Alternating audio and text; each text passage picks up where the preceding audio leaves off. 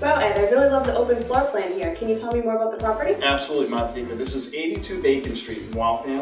It's a three-bedroom, two-bath condominium townhouse close to Route 20, major universities, shops. Love to show you around.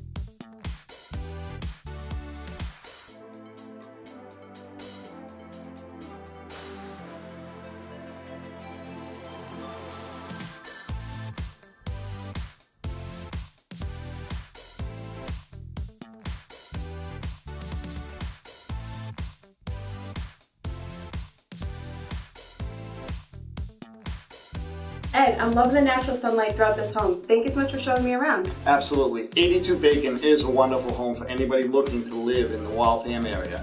I'm Martika Jenkins. And I'm Ed Johnston with Dwell360 Real Estate.